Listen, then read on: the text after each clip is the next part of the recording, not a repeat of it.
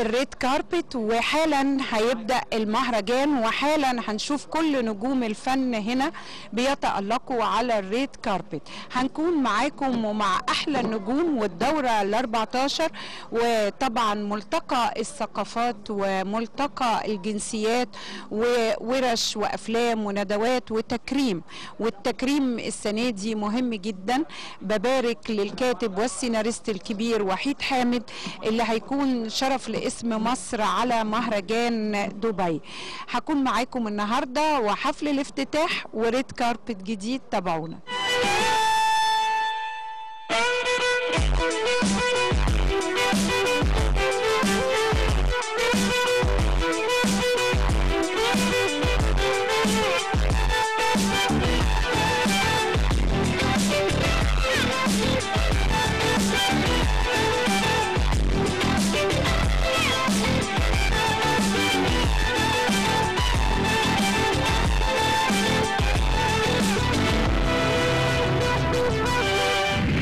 الصورة المشرفة لكل المهرجانات وبشوف الأكتف بتاعها في كواليس وندوات وثقافات كل المهرجانات الدولية والعربية.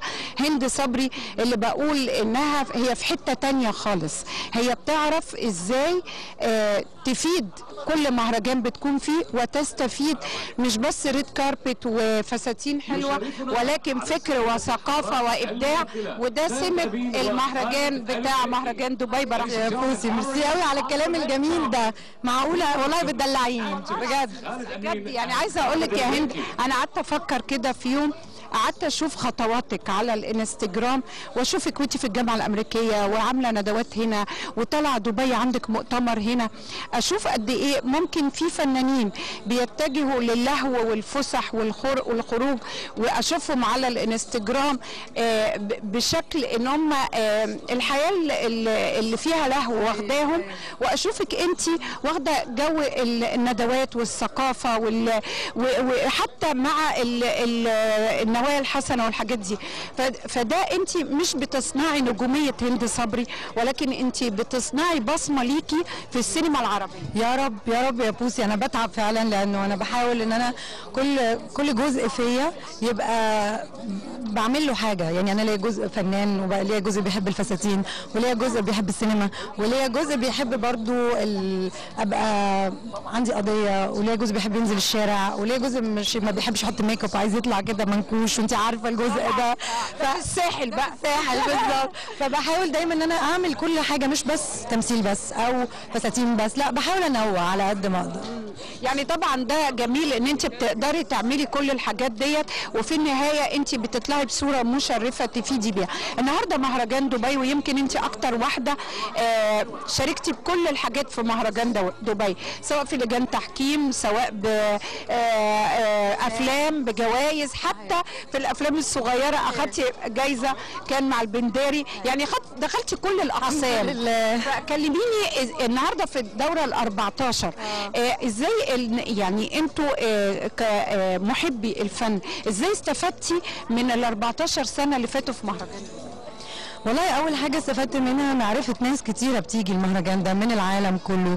ممكن حتى ساعات بنتعزم على مهرجانات تانية من دبي من خلال وجودنا في مهرجان دبي. في ناس كتير عملت أفلامها من خلال آآ آآ فلوس جابوها من ال Dubai Film Connection ومن من إنهم بيجيبوا co-producer منتج مشترك إنتاج مشترك من دبي.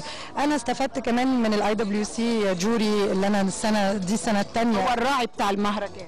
IWC هم راعي من رعاة المهرجان. وأنا سفيرتهم في المنطقة. ودي تاني مرة بدخل في لجنة التحكيم بتاعة الاي دبليو سي اوورد اللي هي بتدي 100000 دولار لفيلم خليجي لسيناريو خليجي. والسنة دي فيها كيت بلانشيت رئيسة لجنة التحكيم وعبد الحميد جمعة طبعا الاستاذ عبد الحميد جمعة صديقنا. تعرفنا على ناس جميلة زي أستاذ عبد الحميد واستاذ مسعود. اتقابلنا كتير خرجنا شوف وبالمناسبه أحب أبارك طبعا للأستاذ وحيد حامد على التكريم بتاعه النهارده. أنا سعيدة جدا ان جاية النهارده اسقف له. آه، فخورة إن أنا كان ليا الشرف إن اسمي يتحط جنب الأستاذ يعني تحت فيلم الفه الاستاذ وحيد حامد وهو عمارة يعقوبيان. وفاكرة إن إحنا جينا هنا مع بعض أيام عمارة يعقوبيان. بقول له ألف ألف مليون مبروك لأن حضرتك فعلا قامة كبيرة في الفن العربي وفي القلم العربي ودي حاجة تشرفنا كلنا إن حضرتك تبقى النهارده متكرم هنا. في النهاية طبعا أهم سؤال الستات قاعدة بتسأله الفستان منين؟ ال jewelry منين؟ ال make up والشعر منين؟ حلاوة الدنيا دي منين؟ حبيبتي يا فوسي الفستان من زياد نكد مصمم لبناني. طبعا دي أول مرة ألبس من من عنده. آه لا ال jewelry النهارده بتاعي. وال make up آه اسمها بثني هي خواجاية مش آه مش مصرية ومش عربية. والشعر علي كلوت وهو لبناني مقيم بدبي. أحلى look لأحلى هند صبري. الصورة المشرفة للسينما العربية هاني البحير. حلوة قوي برافو يا هاني. بجد. سفيرة الفن العربي النهاردة بتتألق في مهرجان دبي ودايما المهرجان يعني يسرى. المهرجان ما ينفعش الريد كاربت من غير ما نشوف يسرى. بعد ما كانت الرئيسة الشرفية في مهرجان القاهرة وكانت صورة مشرفة مع نجوم العالم اللي كانوا موجودين وضيوفنا هي أيضا صورة مشرفة النهاردة بتمثل الوفد المصري والفن المصري على ال red carpet. يا أهلا بيكي يا قمر. انت اللي منورانا هنا يا أختي. أنا طبعا عارفة السبب الرئيسي قبل ال red carpet وقبل أي حاجة لوجود يسرى حبيب قلبها وحيد حامد. أكيد. بصي متشرفة إن النهارده وحيد حامد هيتكرم في وسط كم من النجوم العالميين والمحليين والمصريين. وعايزة أشكر آه، مهرجان دبي على تكريم الأستاذ وحيد حامد لأنه قيمة وقامة عظيمة.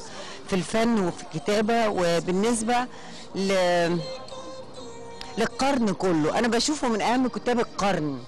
طبعا طبعا. يعني يمكن آه، وحيد حامد هو كان سابق عصره وهو شاف اللي بيحصل دلوقتي في البلاد العربية كلها وكتبه في لو لو أنت رجعتي تاني مثلا لطيور الظلام هتلاقي إن إحنا عملناه في التسعينات.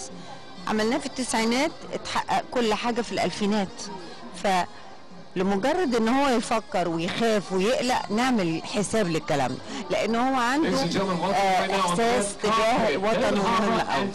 يمكن وحيد حامد واجه التطرف واجه الإرهاب من خلال أعماله. إزاي من خلال مهرجاناتنا العربية نواجه التطرف ونواجه الارهاب آه، اتحادنا مع بعض علاقتنا ببعض قوة آه، آه، تعاملنا مع بعض هي دي ال- الجبهة الأساسية اللي ضد الإرهاب.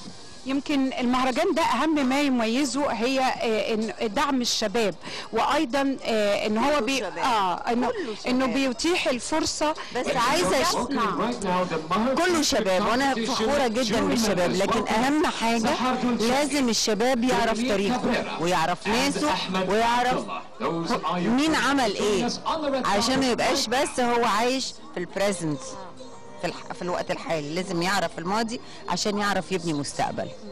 مهرجان دبي دي الدورة ال 14 وانت كنت هنا من أول دورة. شايفة التطور بتاعه إزاي؟ وشايفة إحنا لما جينا هنا أول دورة كان ما فيش ولا فيلم إماراتي. النهارده في 13 فيلم. 13 فيلم إماراتي. عندك أفلام عربية يعني مش بتكلم مصر. من تونس والمغرب. المنطقة العربية كلها. عندك أفلام عالمية. فدي حكاية مهمة قوي. إيه، يعني عرفوا يعملوا تواصل بيننا وبين بعض. هسيبك عشان عايزينك على الهوا.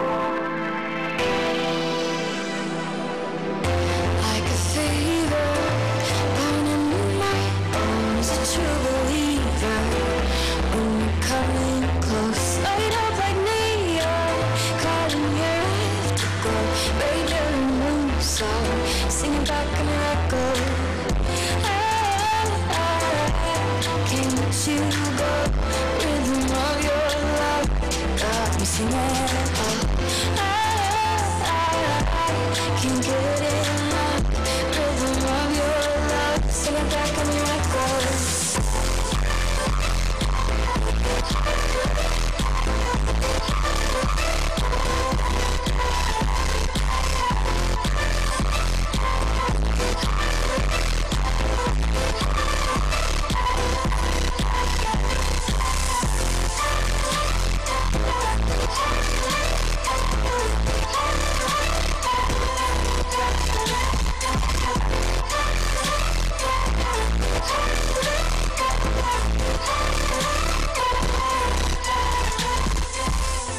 ما زلنا معكم على ال red carpet ما زلنا مع النجوم وأحلى النجوم ومعانا طبعا مي اللي منوره النهارده ومتألقة بجاسميكو جاسميكو جاسميكو النهارده اختارت لون ملفت للنظر. آه، اللون دوت بيبقى حلو جدا على ال red carpet لأنه لون داكن واللون الأخضر هو اللي اختاره لي يوسف الجسمي هو اللي اختاره. طبعا مصمم الأزياء الكويتي حبيبي. أه بحب ألبس من عنده. هو مختلف وجديد ودايما بيقدم الحاجات اللي, اللي تليق على شخصيتك.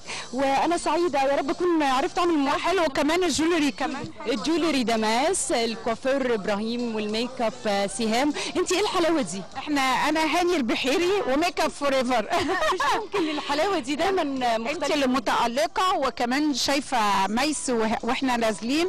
آه، كانت زي القمر ميس ما بعرفش أقف معاها خمس والحلو إن كل واحد مختار حاجة في اتجاه آه هي يمكن ميس مقدمة حاجة من شخصيتها وأنا حاولت دي أول مرة الاقي في مهرجان دبي. معقولة أول مرة بعد 14 سنة دي؟ شفتي بقى؟ اتأخرت الدعوة ليه؟ آه، ما اتأخرتش يمكن أنا أنا أنا اللي اتأخرت. أنا أنا كنت يمكن ساعات ببقى عندي شغل غصب عني ما ببقاش آه، موجودة في مهرجان مهم وفعلا ملتقى النجوم وحاجة مفرحة وجميلة.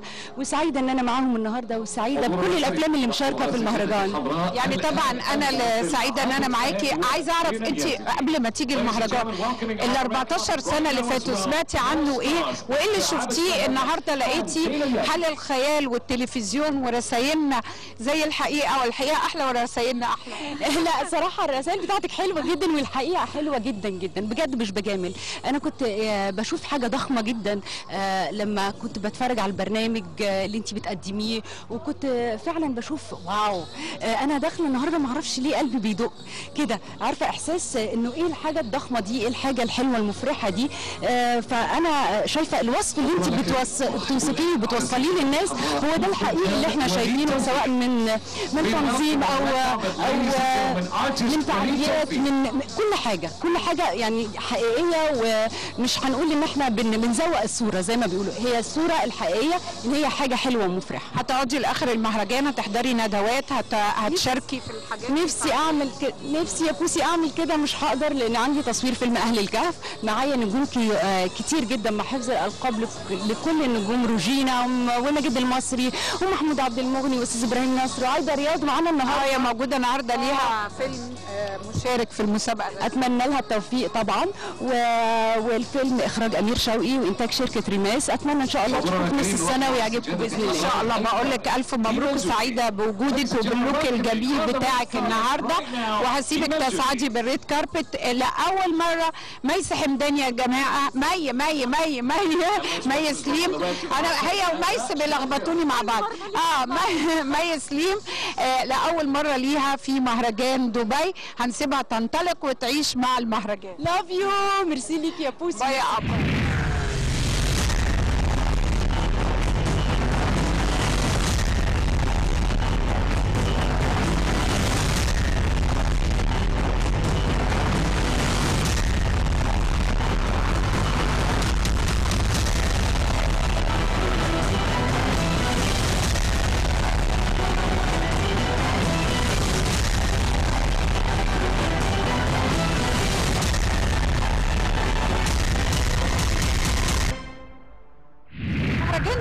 بيتيح الفرصة لأعمال جديدة وتجمع جديد وملتقى جديد. هل ممكن تشارك في ده وإن إحنا نشوف لك عمل سينمائي قول يا رب إن شاء الله. إن شاء الله. في الله مفاجآت؟ في إن شاء الله. إن شاء الله. في مصر ولا هنا ولا في لبنان؟ دلوقتي أحلى حاجة إنه بقت للأعمال الدرامية. عم تجمع سوريا ومصر ولبنان زي. والسودان و- آه آه. فأنا بحب ال... ال... الشيء اللي عم يحصل ده بيحسسنا إيه؟ بقينا زي زي العالم اللي هم بره يعني. الفنان ملوش هوية. هويته عمله. وحب الناس له. إحنا في انتظار عمل جديد. وتعالي بقى يا سوزان عشان خاطر اطلعي live. اطلعي live عندك. آه بشكرك يا وليد وهسيبك تنطلق. وحبيبي من لبنان من لبنان لسوريا وميرسي يا وليد وسوزان نجم الدين. طلعتي live ولا لأ؟ علشان live دلوقتي. لا ومين اللي عاملة ال live حبيبة قلبي الغالية دي. انت تسيبي الموبايل وتيجي معانا علشان أنتوا سوريا الجميلة الحلوة. ودي أحلى حاجة الزمالة الحلوة. طبعاً. ولكن آه، تقولي إيه النهارده بقى آه، في مهرجان دبي المهرجان الصديق الغالي المهرجان اللي بيكبر كل سنة. دورة 14 آه، 13 فيلم إماراتي آه، خرجوا من المهرجان. فخورة جدا باني اكون ضيفة من ضيوف مهرجان دبي السينمائي. وسعيدة بوجودك واشتقت لك كثير من مصر لهون. سعيدة بوجود النجوم العرب من كل مكان. هيدا مهرجان دبي السينمائي مهرجان عريق جدا. و... وكل سنة عن سنة شفتي التنظيم عم يكبر تنظيمه عم يكبر بعلاقته بنجومه أكثر. فأنا فخورة بانتمائي لهذا المهرجان أكيد. النهارده شايفاكي بالفستان الأحمر والشعر simple خالص مغيرة عن تكريمك في سوريا وتكريمك في صحيح بتعرفي بحب كل مهرجان انه طل طلة مختلفة ودائما عم ميل لل simple اليوم ميزان Elegant اللي لبسوني والمجوهرات لمزيون وروز عربجي وسو- وسوزان الميك اب مثل العاده زي القمر ومتألقة وهسيبك تنطلقي بقى على ال red carpet وإن شاء الله هنتقابل في جولات في شوارع دبي ميرسي يا حبيبة قلبي ونورتي.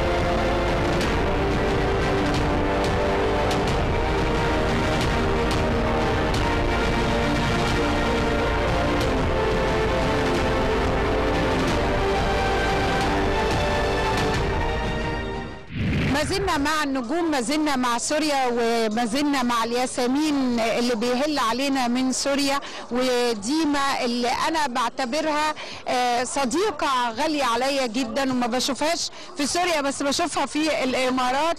آه، ديما الجندي اللي منورانا النهارده ومتألقة باللون. thank you so much أنا كثير أول شغلة مشتاقت لك كثير وثاني شيء عن جد صرنا زمان كثير ما التقينا منيح اللي في مهرجان نشوف بعض. طبعا. يعني آه، المهرجان هو اللي بيجمعنا. الندوات والمؤتمرات والفكر والثقافة والإنتاج والسينما الإماراتية وكواليس مهرجان دبي. آه، شايفة من سنة لسنة شكله إيه وخصوصا إنك متابعة وعايشة هنا وبتشوفي إزاي الوطن العربي يستفاد من هذا. هلا أكيد هو غالبا أنا آه، طبعا مو كل سنة بيصح لي إني أحضر مهرجان دبي بسبب تعرفي التصوير وانشغالاته الواحد. بس أنا كل سنة بحس إنه في شيء جديد آه، خاصة الشيء اللي بيتعلق بعروض الأفلام آه، لأنه لها خاصية معينة الأفلام اللي بتنعرض بمهرجان دبي وبالأخص المصرية صراحة. فأنا حريصة كل الحرص إنه أحضر يعني أغلب الفعاليات الموجودة وأحضر أغلب الأفلام اللي موجودة. أكيد يعني طبعا ندواته مهمة وأفلامه مهمة لأن طبعا لأن أفلامه مهمة وندواته مهمة لأن هو بيجيب آه، أول العروض. يعني بيبقى عرض أول بيكون موجود بس تبقى فرصة ليكم وخصوصا يمكن السينما في الإمارات ال- آه، يعني أنتم مش بتقدروا تروحوا كتير السينما فبتشوفوها من خلال المهرجان بالضبط بالضبط كلامك صح عايز أعرف الجديد بقى. الجديد هو مجموعة أفلام قصيرة. هي ال- الشيء الجديد بالوطن العربي آه، نوع جديد هو musical short movie based on آه، body language آه، music آه، شعر. مدة الفيلم تقريبا 14 دقيقة. عملنا أول فيلم اسمه في مطعم صغير. آه، الأفلام الجاية إن شاء الله رح تروح باتجاه روايات عالمية. الفيلم القادم رح يكون آه، أحدب نوتردام. إن شاء الله. أيوه بقى ونشوفك بقى بتشاركي في إن شاء الله يا رب إن شاء الله. بحييكي وبقول لك منورة الفستان منين؟ الفستان مصممة اللبنانية ياسمين حوا آه وبس. وال jewelries كمان آه، صديقة عزيزة وغالية علي كمان اسمها آه قدورة آه ريما قدورة. آه كمان تصميم ال jewelries اللي لها هسيبك تتألقي بالأسود على ال red carpet. كانت معايا ديما الجندي من سوريا. مهرجان دبي لسه مكملين على ال red carpet وايجي بتحبي حبيبتي. السينما السورية والفن السوري والهيبة السورية والحب الكبير لسوريا وجبل قسيون كله موجود معانا على ال red carpet هنا في مهرجان دبي منى واصف. أنا بشوفها هي جبل قسيون المتنقل اللي بي- بيشرف أي مهرجان. شكرا كثير شو بدي أقول لك؟ أنت بتحبيني. بموت فيكي وأنت جبل فعلا. أنت جبل وهبه أنا بفتخر على كلهن اذا إذا الناس بي بيشوفوني جبل قاسون لأنه هذا هذا القامه الدمشقيه هذا العز تبع سوريا. إن شاء الله. إن شاء الله. النهارده هم عاملين تقليد جديد للدراما وداعيين أسرة آه، هبه بعد نجاحها الكبير. وأعتقد إن في جزء تاني في طبعا في جزء ثاني وعملنا العقد ولا عم ينكتب اول السنة إن شاء الله. بداية الشهر الثاني من بنبلش نصور شايفة إزاي الدمج ما بين مهرجان سينمائي مع الدراما التلفزيونية؟ وهل الدراما التلفزيونية آه، فرضت نفسها إنها تبقى بأهمية السينما؟ شوفي السينما بدول لها أهمية لأنه بتحمل خيال أوسع بكتير وبتطير أكتر بكتير. آه ومخلدة السينما لا شك نحن بنشوف أفلام من إنتاج تقريبا 100 سنة. التلفزيون لا بس بالسنوات الأخيرة التلفزيون قدر يدخل ويكون ضيف كل بيت بكل الوطن العربي كأنه عم بيجمعنا بشكل. حتى المواطنين اللي اللي خارج واللي عايشين برا بتحسي إنه بيلتموا ليشوفوا هي الأعمال. هذا كثير شيء مهم. بعدين في في رس رسائل عم توصل من بعض هي الأعمال وهذا هذا شيء كثير شيء مهم. فلما نحن نتكرم كمسلسل تلفزيوني في مهرجان سينمائي بيكون هذا تكريس لدور معين. بعدين نحن على كلها فنادي طمنيني عن حال السينما بقى دلوقتي في سوريا. يعني الدراما السورية برغم كل الظروف اللي مرت بيها سوريا إلا إنها واقفة على رجلها وبتطلع آه، بصورة مشرفة وشكل كويس جدا يليق بالدراما السورية السينما السورية بقى شوفي في أفلام طل- طلعت بالسينما السورية بس المسلسلات في تأكيد عليها أكثر. ولكن لا السينما بتموت ولا المسلسلات التلفزيونية بتموت ولا المسرح لأنه كله في له تأسيس ما معين يعني. ونحن بنحب الحياة مثل أمد. ونحن أقوى من الموت. وهذا مو بس نحن شعور أي مواطن. تجي بدك تقتليه بالحرب بيقوم هو بيقول لك أنا بدي أعيش. والفن جزء من المعايشة جزء من الصدق جزء من الحياة أو هو بشكل ما هو الحياة. انت الحياة وبتدينا الحياة. منى واصف نجمة سوريا الكبيرة العظيمة جبل قسيون الفن العربي. سعيدة بوجودك معايا النهاردة وهسيبك تسعدي بالمهرجان والتكريم. أوكي يا حبيبتي شكرا.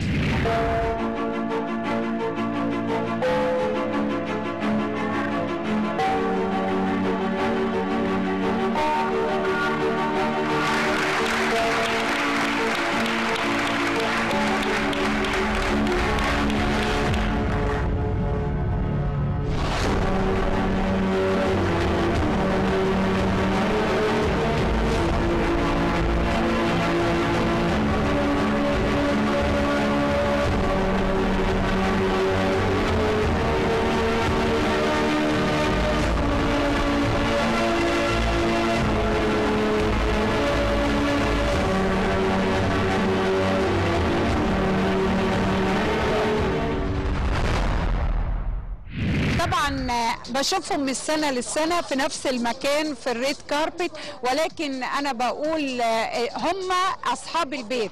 وهم أصحاب المهرجان اللي أنا كل سنة بكون ضيفة عندهم. والمهرجان آه، يعني بقاله 14 سنة حقيقي بيستقبلونا أحلى استقبال وبيستقبلونا آه، بكل الحب والحفاوة.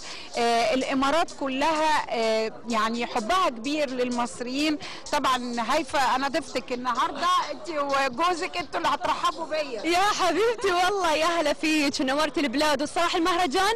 ما له طعم من غيرك. مثل ما المهرجان متعود على وجودنا هم إحنا تعودنا على وجودك. فيا هلا فيك وأكيد يعني نستأنس ونفرح بتواجدك. أعتقد أنت بتدخل ت... لو ما لقيتنيش على red carpet تقول لا فين بوسي بقى؟ طبعا. أنا هروح. إحنا نرجع. إحنا نرجع.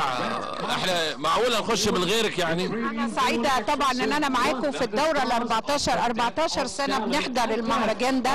مهرجان دبي مش بس مهرجان وهيصة وفن.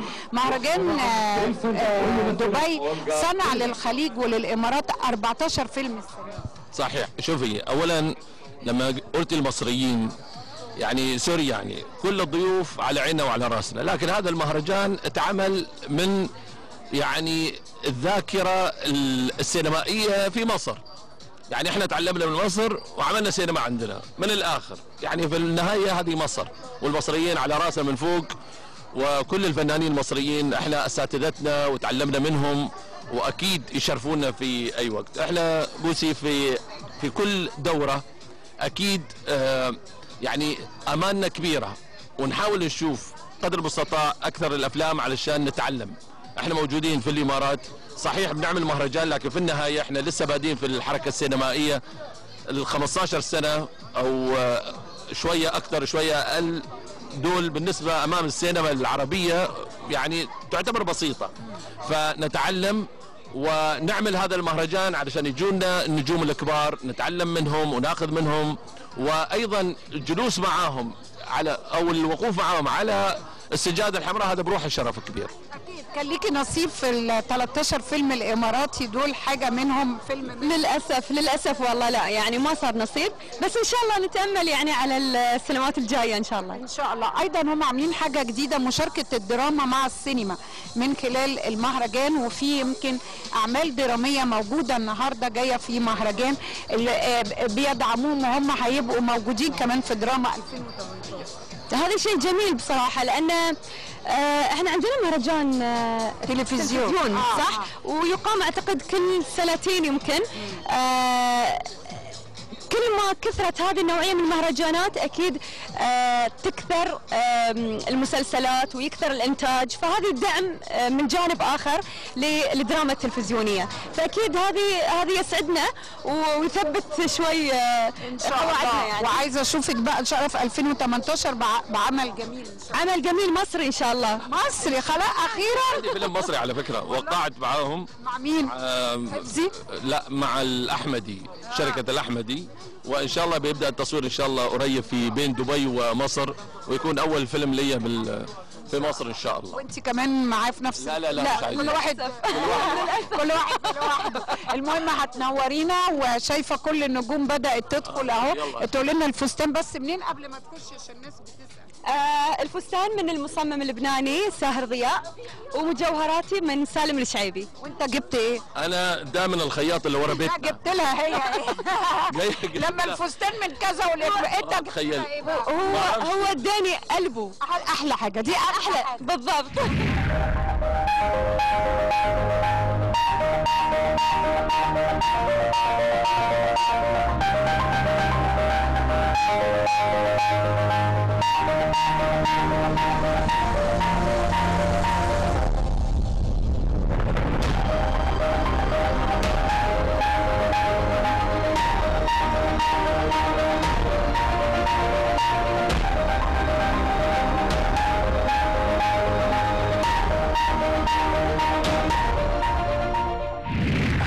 الصورة اللي بنحب نشوفها دايما في مهرجان دبي الجامعة العربية.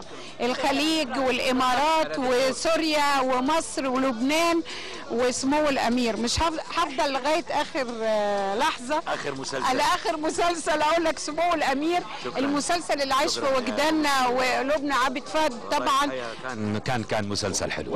وإذا كان وراء كل رجل عظيم إذا كان في رجل عظيم فوراءه امرأة عظيمة مبدعة إعلامية ناجحة وبجد إحنا يعني بنسعد بوجودك وبنسعد إنك دايما جنبه ودعماه ولما بتيجي المهرجان بتبقي جاية آه، آه، يعني تدفعيه مش جاية بقى تاخدي اللقطة بتاعتك. آه طبعا طبعا. بكون سعيدة ب- ب- بوجودي معه أصلا بضوء بكون سعيدة.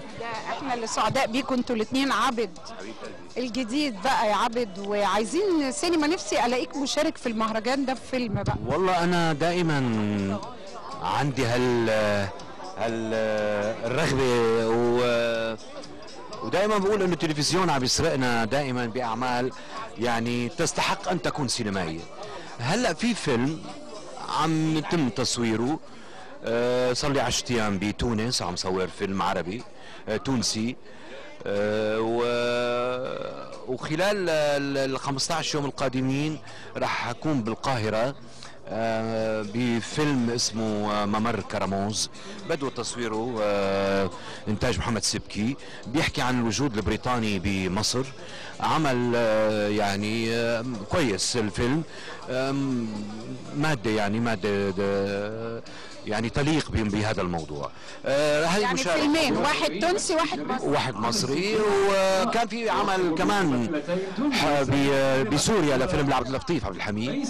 آه، الوقت شوي صعب يعني ما راح آه، يتسنى لي. راح أكون بلشت بمسلسل آه، طريق اللي هو مع شركة الصباح اللي هو أنا ونادين ومجموعة من وأنا شايفة النهارده هم كمان بيدعموا الدراما وهم جايين النهارده أسرة المسلسل وفي مسلسل هيبة في أكتر من مسلسل موجود النهارده المزج ما بين السينما والدراما. واخد رأيك انت بقى ان آه، الأعمال الدرامية لما بيحيوها في مهرجانات سينمائية هل ده دعم للدراما ولا نجاح الدراما على السينما؟ أنا بعتقد إنه الدراما بالفعل نجحت كتير خصوصا اليوم مع أسلوب التصوير والإنتاج يعني ما بقى نحن ما بقى عم نحكي على دراما رخيصة وأفلام آه، آه، سينمائية مكلفة أو ثمينة. ما بقى عم نحكي على آه، نصوص دراما سريعة ولا تافهة ولا سطحية لا عم نحكي بدراما على خط بيشبه السينما. على آه، نصوص دراما سريعة ولا تافهة ولا سطحية. لا عم نحكي بدراما على خط بيشبه السينما. فأنا بشوف طبيعي التقاء هدول الفنان. هن بالنتيجة خطين تعبير. الاثنين عم بيكونوا عم بينشغلوا بجودة عالية. آه، إذا ما كانت السينما هي المتصدرة من حيث المشاهدة بالعالم العربي يمكن بمصر نوع آه، القصة مختلفة ولكن بالعالم العربي الدراما هي المتصدرة. وهلأ عصر التلفزيون بشكله عبر الشاشة أو بهيدا. نت يعني بالفليكس ولا نتس ولا إلى آخره إحنا في انتظار الدورة الجاية. مشارك بفيلمين التونسي والمصري. اسكندر وممر كرموز إن شاء الله. وأنا في انتظارك في القاهرة. نشوفك ونسعد بيك إن شاء الله. مول الامير نسمح لك تمشي على الريد كارد. اتفضل